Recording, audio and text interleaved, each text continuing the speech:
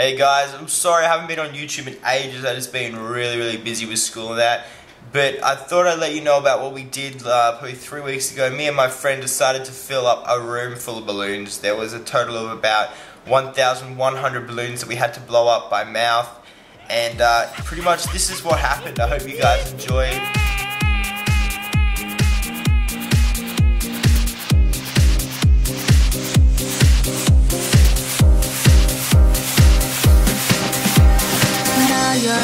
Standing close to me.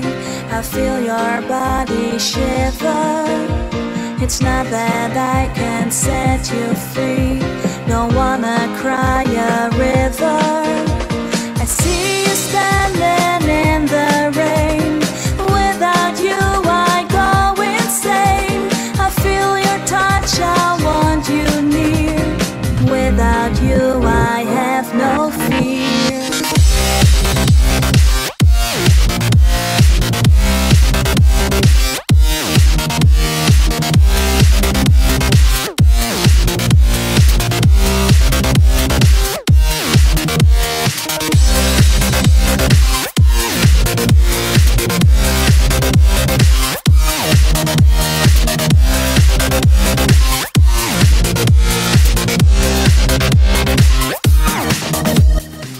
This point in time, we finally figured out, hey, we're halfway through. We ain't gonna have enough balloons to fill the room I'm currently in, which is my office.